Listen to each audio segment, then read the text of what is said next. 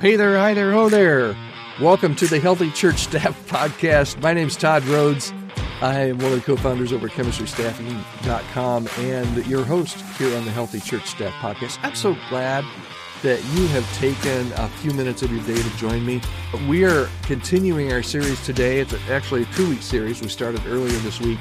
It's a series on gratitude and Thanksgiving, headed into this Thanksgiving season next week. Today's topic is one of those that may hit home for a lot of us, and hopefully, I, I hope it will be helpful to you today. We're going to be talking about an- gratitude as an anecdote to burnout. Just about every podcast I mentioned about how ministry can be tough. And we talk with candidates that are people that are looking to make a move to a new ministry. And many of them are just 8, 9, 10 on the burnout scale.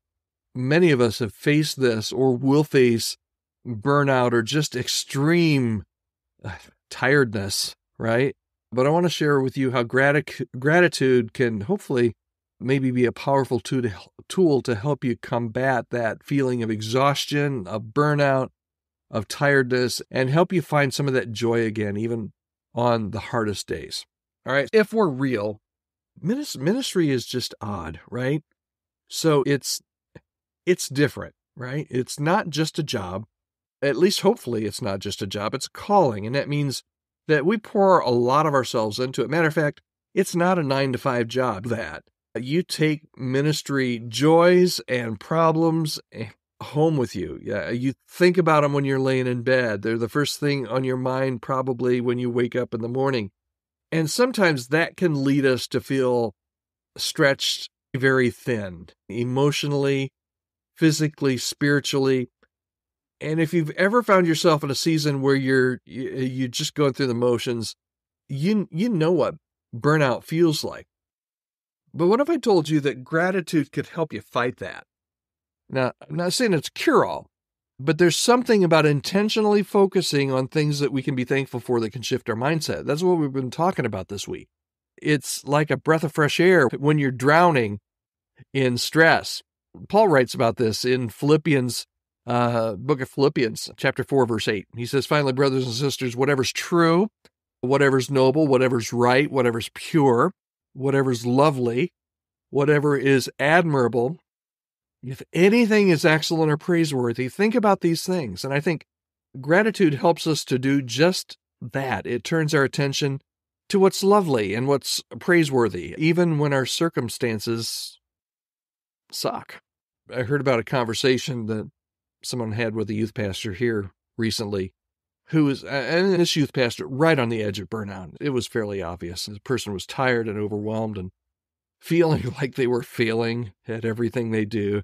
But they started this simple practice at the end of the day, they'd write down three things they were grateful for. Sometimes it was just as basic as, you know, I made it through the day. But over time, they noticed it did help. It didn't ease the workload, but it did give them little glimpses of hope to hold on to. So here's your bottom line for today, especially if you're feeling burned out. Try adding gratitude in as a practice to your routine. It doesn't have to be anything fancy. Maybe it's writing down three things, as that youth pastor did, three things that you're thankful for at the end of the day. Maybe it's starting your morning, as we mentioned yesterday, about naming one thing that you're looking forward to or that you're grateful for. And, and just these little moments of gratitude can act as a buffer against the stress and, and that you feel and help you see the good things that might be getting overshadowed by the tough stuff. I'd love to hear how you tried some of this before, or if you decide to give it a shot after listening today. I, I always love hearing your stories, and any way that I can help you or your ministry, send me an email, podcast at chemistrystaffing.com. And uh, I read every email that comes into that email address. So I'd love to hear from you. If your church also is looking for someone uh, new on your team to hire a new staff member, or you need help creating uh, healthier work environment, uh, I'd love to be able to help your church with that as well. You can reach out to me, Chemistry Staffing. Po- uh, it's the email address is podcast at Chemistry Staffing. Okay, thanks for turning in. Remember, ministry can be challenging, but you're not in this alone. I'm here to help. We are here to help. There are others going through exactly the same thing you are going through today. And taking a few moments today to find something to be thankful for might just help lighten that load. Appreciate you, and uh, we will see you tomorrow here on the Healthy Church Staff Podcast.